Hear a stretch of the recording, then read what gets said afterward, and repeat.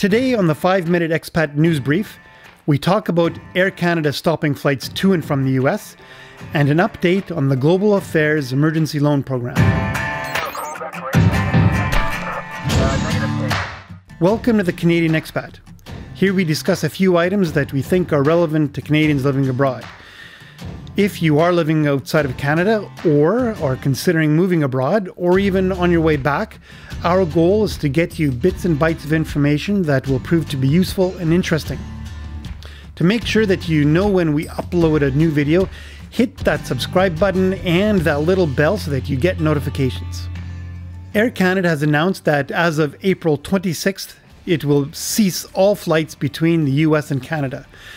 They announced that at this point the intent is to resume flights again on May 22nd, but warned that this could also change depending on the situation and any government restrictions that may be either extended or applied.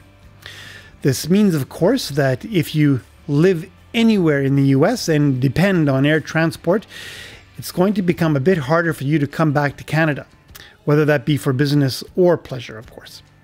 There are only a few airports throughout Canada that are currently authorized to process international travel. And it's clear that if you're looking for a way back home, things will become that much more difficult for you.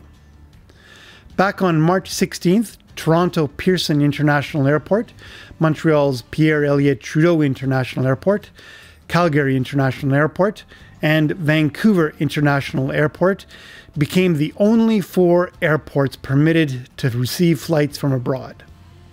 Following the initial announcement of US Canada travel restrictions back on March 21st, Air Canada maintained limited service to only 11 US destinations from its three Canadian hubs, primarily to facilitate the repatriation of Canadians.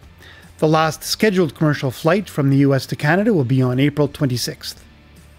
For those who are scheduled to be on a flight after April 26th, the airline is waiving change fees and will enable passengers to reschedule their travel without penalty. Global Affairs Canada has announced that to date, just over 2,000 loans totaling $6.4 million have been approved through their emergency loan program for Canadians abroad. We featured one of those Canadians in a recent video. Greg Hung, originally from Vancouver, currently living as a digital nomad in Malaysia, spoke to us about the process. Yeah, sent an email to get an application number, and then they asked some questions, and they wanted, um, yeah, they wanted proof of uh, costs, costs to get back home, the costs uh, over here, and then after that was a phone call and then um, after the phone call, they basically tell you whether you're approved or not. And then, yeah, it was pretty pretty quick, direct deposit after that. Global Affairs Canada and its missions are currently processing another approximately 2,000 loan applications from around the world. The program is intended for Canadians who are currently outside of Canada and are directly impacted by COVID 19. Those eligible are able to apply for an emergency loan of up to $5,000 to help you return to Canada and to cover your short term needs while you work towards returning. This is a loan and will need to be repaid. As I mentioned, our goal here is to be useful and interesting. Let us know how we're doing in the comments. And if you have a topic that you want us to cover, again, let us know. Once again, to make sure that you know when we upload a video, please hit the subscribe button and that little bell so that you get notifications.